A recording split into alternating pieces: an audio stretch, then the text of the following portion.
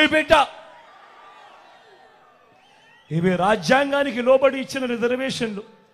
రాజకీయ స్వార్థం కోసం వారి జీవితాలతో ఆడుకోవడం దుర్మార్గం కాడా అని అడుగుతా ఉన్నాడు మీ బిడ్డ. అందుకే ఇవి ఎట్టి పరిస్థితిలోనూ కొనసాగుతాయి.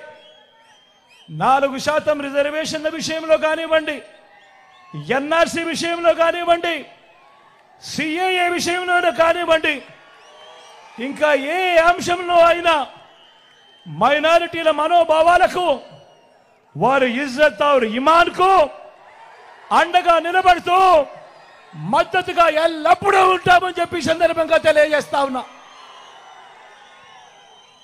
మైనారిటీల పట్ల ప్రేమ చూపుతూ ఒక్క డీబీటీ స్కీములు ఇళ్ళ పట్టాలు ఇళ్ళ నిర్మాణం షాదీ తోఫా వంటివి మాత్రమే కాదు.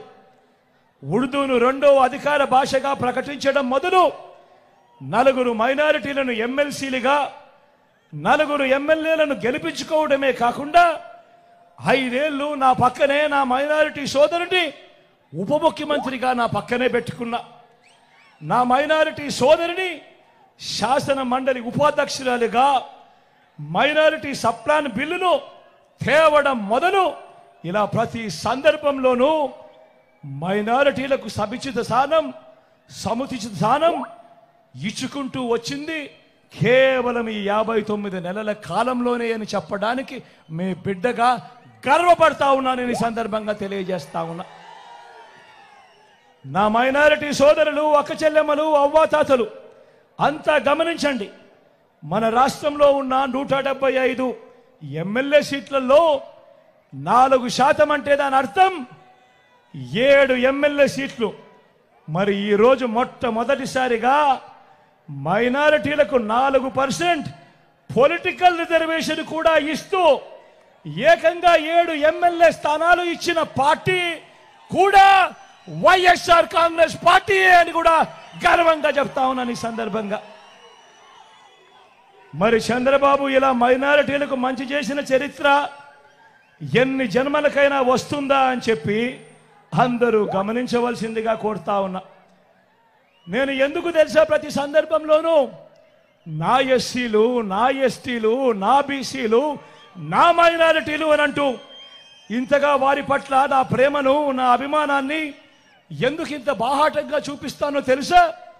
కారణం ఒక ముఖ్యమంత్రి స్థాయిలో ఎప్పుడైతే ఇంతగా వారిని గుండెల్లో పెట్టుకొని ఇంతగా వారి మీద ప్రేమ చూపిస్తే అప్పుడు ఆ వెనకబడిన వర్గాలకు ఆ గ్రామాలలో కానీ రాష్ట్రంలో వారికి ఎక్కడైనా కూడా వారికి ఇచ్చే గౌరవం పెరుగుతుంది. వారిలో ఆత్మస్థైర్యం పెరుగుతుంది. వారిలో ఆత్మ గౌరవం పెరుగుతుంది. ఇవి జరగాలి అని అంటే ముఖ్యమంత్రి స్థాయిలో ఉన్న వ్యక్తి ప్రతి సందర్భంలోనూ కూడా నా నా నా నా అంటూ వారిపై ఆప్యాయత చూపిస్తేనే అది జరుగుతుంది. మరో వంక చంద్రబాబును చూడండి. ఇలాంటి ప్రేమ ఇలాంటి న్యాయం కథ దేవుడెరుగు. చంద్రబాబు అధికారంలోకి వచ్చాక చంద్రబాబు అబద్ధాలు మోసాలు ఎలా ఉంటాయో ఒక్కసారి చూపిస్తాను. మీరే చూడండి. ఇది గుర్తుందా? అన్నా ఇది గుర్తుందా? తమ్ముడు ఇది గుర్తుందా?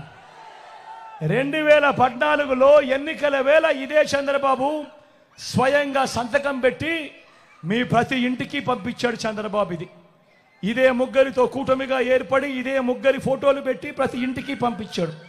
నేను అడుగుతా ఉన్నా స్వయంగా చంద్రబాబు సంతకం పెట్టి రెండు వేల పద్నాలుగులో మీ ప్రతి ఇంటికి పంపించిన ఈ పాంఫ్లెట్లో చెప్పిన ఈ అంశాలను రెండు వేల పద్నాలుగు నుంచి పంతొమ్మిది దాకా ఆయన ముఖ్యమంత్రిగా ఉన్నాడు.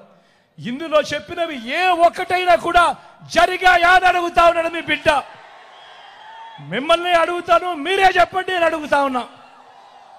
రైతు రుణమాఫీ పై మొదటి సంతకం చేస్తానన్నాడు పెద్ద మనిషి చంద్రబాబు. మరి ఎనభై ఏడు వేల ఆరు వందల పన్నెండు కోట్ల రూపాయలు వ్యవసాయ రుణాల మాఫీ జరిగిందా అని అడుగుతా ఉన్నాడు మీ బిడ్డ. రెండు చేతులు పైకెత్తారు ఇలా ఇలా ఇలా ఇలా ఇలా ఇలా ఇలా ఇలా ఇలా. రెండోది పొదుపు సంఘాల రుణాలన్నీ రద్దు చేస్తానన్నాడు. నేను అడుగుతా ఉన్నా పదకొండు వేల రెండు వందల ఐదు కోట్ల రూపాయలు డ్వాక్రా అక్కచెల్లెమ్మల రుణాల మాఫీ. ఇందులో కనీసం ఒక్క రూపాయి అయినా మాఫీ చేశాడా అని అడుగుతా ఉన్నాడు మీ బిడ్డ. ఇలా ఇలా ఇలా ఇలా ఇలా ఇలా ఇలా ఇలా. మూడో హామీ చంద్రబాబు చెప్పింది.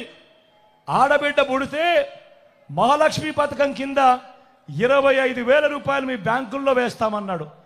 నేను అడుగుతా ఉన్నా ఇరవై ఐదు వేల కదా దేవుడు ఎరుగు ఇన్ని వేల మంది ఇక్కడ ఉన్నారు. మీ బ్యాంక్ అకౌంట్లలో చంద్రబాబు ఏనాడైనా ఒక్క రూపాయి అయినా వేశాడా అని అడుగుతా ఉన్నాడు మీ బిడ్డ. ఇలా ఇలా ఇలా ఇలా ఇలా ఇలా ఇలా ఇలా ఇలా ఇలా. ఇంటింటికి ఉద్యోగం. నాలుగోది ఇంటింటికి ఉద్యోగం. ఉద్యోగం ఇవ్వకపోతే నెల నెల రెండు వేల రూపాయల నిరుద్యోగ వృత్తి ప్రతి నెల అన్నాడు. నేను అడుగుతా ఉన్నా ఐదు సంవత్సరాలు అంటే దాని అర్థం అరవై నెలలు అరవై నెలలు ఇంటూ నెలకు రెండు వేల రూపాయలు అంటే ప్రతి ఒక్కరికి ప్రతి కుటుంబానికి లక్ష ఇరవై వేల రూపాయలు నేను అడుగుతా ఉన్నా మీలో ఏ ఒక్కరికైనా ఇచ్చాడా అని అడుగుతా ఉన్నాడు మీ బిడ్డ ఇలా ఇలా ఇలా ఇలా ఇలా ఇలా ఇలా ఇలా ఇలా ఇలా ఇలా ఇలా ఇలా పదివేల కోట్లతో బీసీ సప్లాన్ చేనేత పవర్ లూమ్స్ మాఫీ అన్నాడు జరిగాయా?